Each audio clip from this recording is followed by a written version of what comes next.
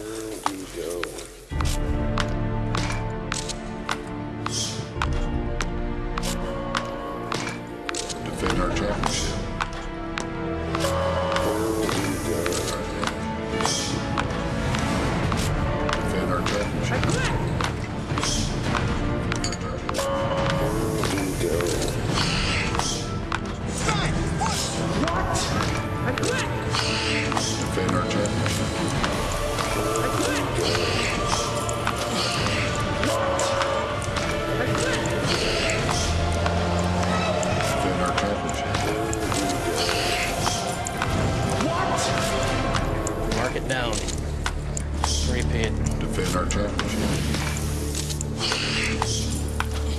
Defend our championship.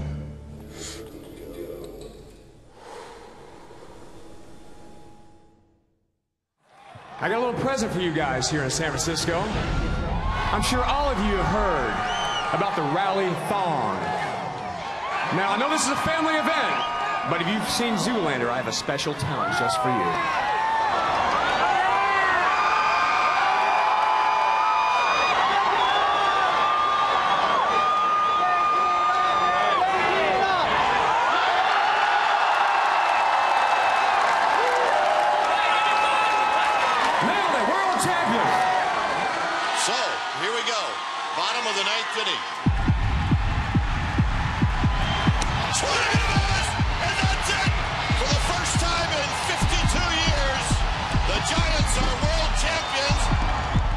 Mean, I would wake up, just kind of like laugh, going, uh, we just won the World Series. Is that real? Right there,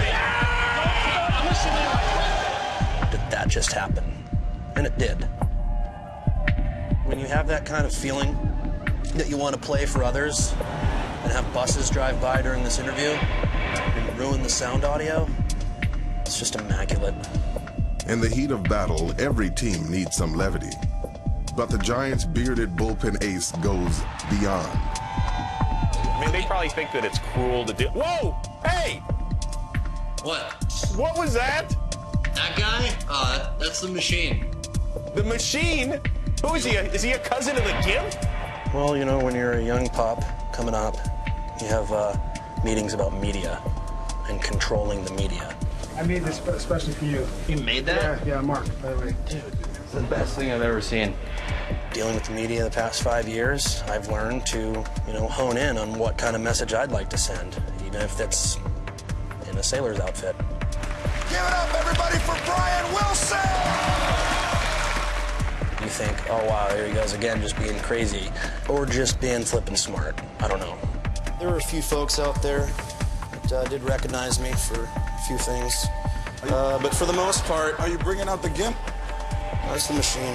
He uh, he says hello. My trigger points are different. My brain waves work in a completely different pattern than a lot of people. How would you relate your pitching to Chuck Norris?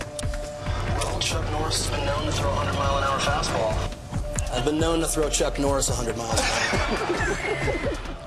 I came up with that. this is all on the spot, too. While the closer keeps his teammates laughing and loose, the man who keeps them on an even keel is the skipper, Bruce Bochy. It's my time to get away, you know, to reflect and think about the season.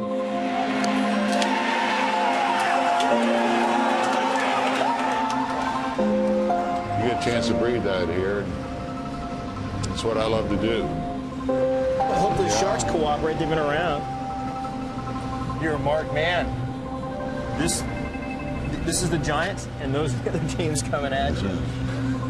That's all right. This is all I'm thinking about today. When I get back, my wheels will start turning as far as baseball. But I don't need therapy or anything, but this is sanctuary, so to speak, uh, for me before spring training. I got the uh, adrenaline going right now. That's a big fish.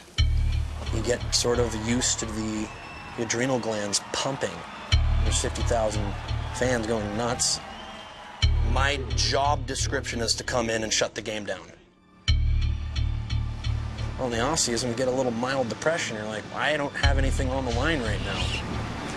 So you create activities. that uh, can be a little dangerous at times. Starting to get pissed off. Capo, Jeep ready. Probably shouldn't be letting you know that. Dude, he's gonna tear your ass up. We have a fight on our hands, we know it. Telling the truth. You've heard all about it, we're a target, and we accept that. but the 25 guys that we break camp with, I fight with every day. We worked for that one, huh?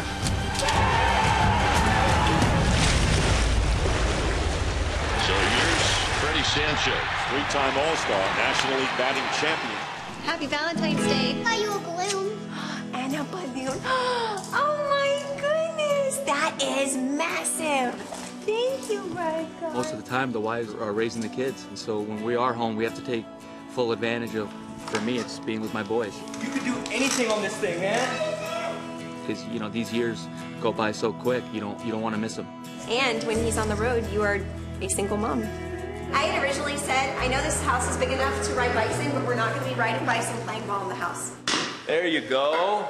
We've been together so long, and it's been so great. To our 16th Valentine's Day together. I remember when she was working two jobs and going to school and sending me money to live on when I was in college. Sit. Come a long way. Thank you. Go ahead, baby. Valentine's Day is a little more special for us because February 14th, Was 1996 the day he asked me to be his girlfriend. was the day that we made it official in high school. She's been there from the beginning, you know, when we had nothing. I mean, we almost lived in our car. we almost lived in my dad's car for, for a night or two. The World Series obviously brought all of us together. We were all just so proud of him. And I don't, can't believe I'm crying, but we were all just so proud of him. We were so excited because they hadn't ever gotten to this point. All right, all right, enjoy, Freddie. All right, man. I gotta get you liquored up a little bit. Here's the dessert. Tonight's bittersweet because I have them all to myself, but pretty soon I'll have to share them with the Giants. Cheers. Happy Valentine's Day. Happy Valentine's Day.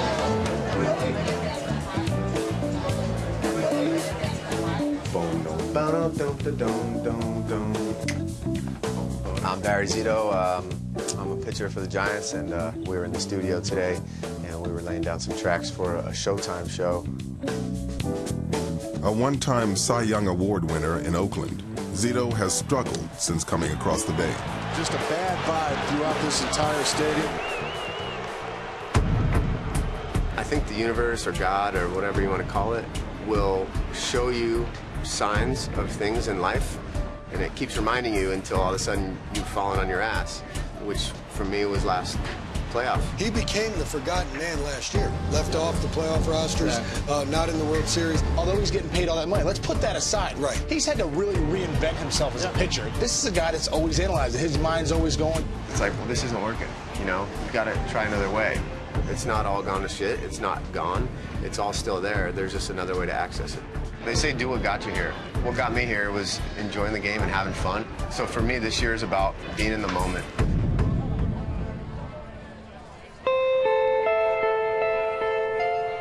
Great feeling uh, coming in spring training as a world champion. Oh, Buster! And to be honest, uh, I had some concerns. Uh, I, I didn't know where my players would be, if they were tired from celebrating, or uh, if they would be content uh, with just winning World Series. So the beard's still there, huh? No, still rocking. Gosh. I know. Oh, and the mohawk's black. I love just walking in the clubhouse and seeing the players and knowing the different characters and, and personalities and and riding with them on a journey that goes for seven months. Ready? I think we had so many characters last year, and we brought them all back. But with a smile? Got it, thanks. Nothing worse than the fake smile, you know? Sorry. This is the hair of one of the 25 what? Coolest athletes ever. According to GQ. GQ doesn't know what the hell they're talking about. If I'm in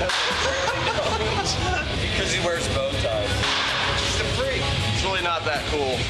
At barely six feet tall and less than 170 pounds dripping wet, the 26-year-old Lincecum has already won two Cy Young Awards, headlining a pitching staff loaded with live arms and quirky characters. It's like eggs in here. Art? Did I fart? I'm a pro baseball player in my 20s. I'm not just going to walk around monotone like a robot and then wake up and I'm 35, the game's over, and I've had zero fun. What are we going to do with this? Just look natural? As natural as you can. Willie, have you met Miguel Tejada? Back in the clubhouse, new Giant shortstop Miguel Tejada gets introduced to baseball royalty. We should have had you a long time ago. The Say Hey kid, who turns 80 in May, probably never stepped into one of these contraptions, which measures body fat percentage. 8.2. Wow. So you did pretty good. Yeah. That was good. Coming off a breakout season, career minor leaguer Andres Torres spent the offseason in his native Puerto Rico, working out in rather unconventional fashion. 02 through 07, I couldn't make it to the majors. 07, I was out of the game. I don't want to go back. I, I, you know, I'm going to show people that I can play this game every day. To be a good athlete, all you need, like I said, you need a heart, and you can fight whatever you want. If you work, you know, you can do a lot of stuff.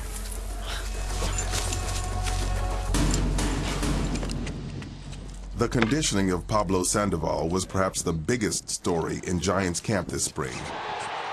Two years ago, the Kung Fu Panda took the city by storm. Last year, he played his way out of the starting lineup.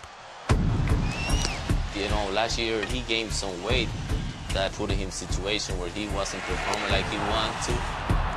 Fastball, got him. I have to be honest. I just told him, Pablo, you need to take care of, you know, your body.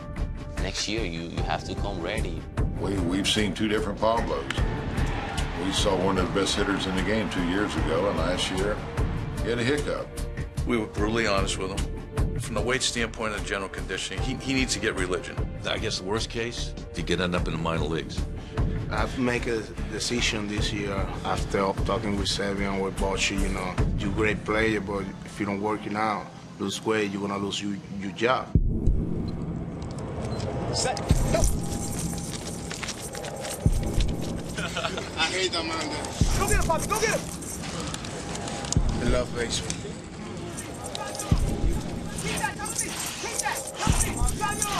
Me. Right here. Right here. Slide. Push. Push right here. Come on. Push.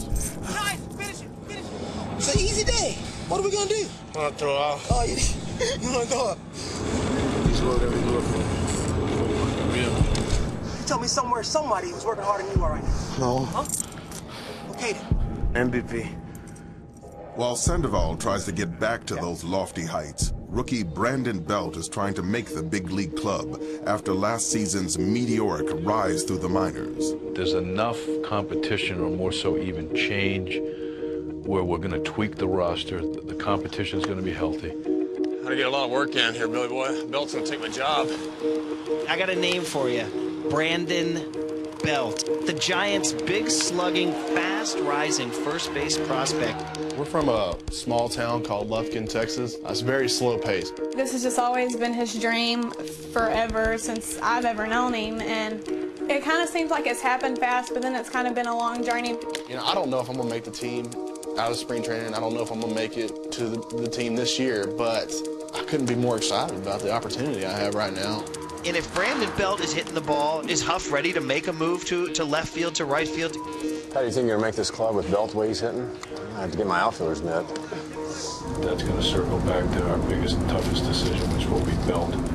You know, I can control coming out here and playing my best every day. I can control having quality ABs. I can't control, you know, the decisions they make in the front office. His approach has been impressive. Who knows whether he's ready or not? I think just the way I grew up, I kind of, uh, you know, expect the worst and hope for the best. It's, it's a tough call there. Yeah, I, I'm still on the fence. All right, don't be scared now out there. Let's